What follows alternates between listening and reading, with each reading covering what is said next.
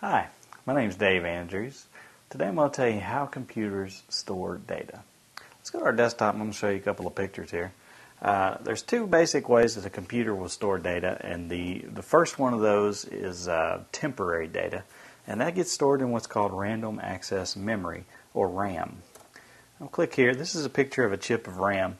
Uh, basically, this is internal in your computer, and it's, it's popped into the motherboard. And this, uh, these little chips of RAM allow the computer to store data that it's currently working on. They don't allow the permanent storage of data. They basically allow you to pull memory in uh, from the hard drive, which is the permanent storage of data, and uh, work on them. And these little chips here that are on the RAM are uh, basically uh, temporary storage uh, of data for the computer. Now, once the power is cut off to a stick of RAM, each one of these little memory devices uh, lose whatever it is that they were currently storing. It's uh, sort of like a capacitor. If you've ever worked on one, you, you plug in a capacitor and it holds a charge.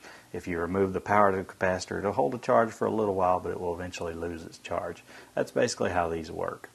Uh, the way that computers store data more permanently is through a hard drive.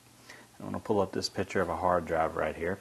Uh, hard drives have inside of them uh, spinning platters.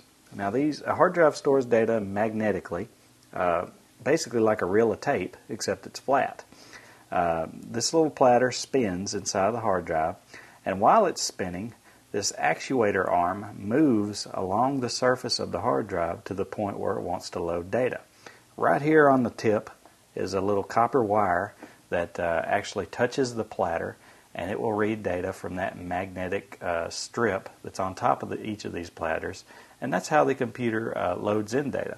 Now, when the computer wants to save data, it basically does it the other way around. It sends information to the copper wire, which will then charge the platter while it's turning and magnetically uh, store data.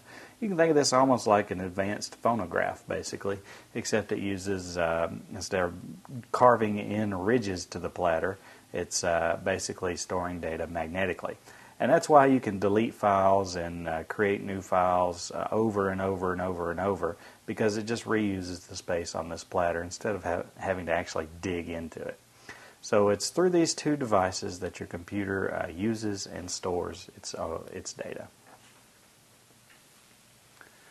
My name is Dave Andrews, and I've just told you how a computer stores data.